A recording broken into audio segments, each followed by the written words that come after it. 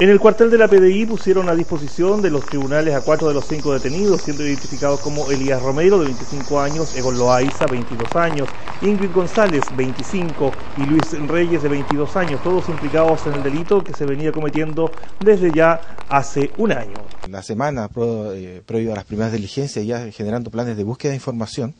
se logra establecer que hay un segundo ilícito de la sustracción de cinco tablets de, que todavía ni siquiera estaban en el mercado y producto de ello se, ya se tiene el hilo eh, conductor de la investigación y a través de las evidencias que eran las cámaras de seguridad, entrevistas y seguimientos a personas vinculadas al, delito, se logra determinar que los autores son dos trabajadores que, eh, eh, de la empresa que laboran en la bodega. Esto es parte del botín recuperado por los detectives, donde se observa que todos los artículos son originales, etiquetados con los códigos de la tienda, prendas que iban a parar a Fresia, donde fue ubicado uno de los detenidos. En cada domicilio de los detenidos, que en total suman cinco, logramos eh, recuperar especies eh, evaluadas en 5 millones eh, mil pesos,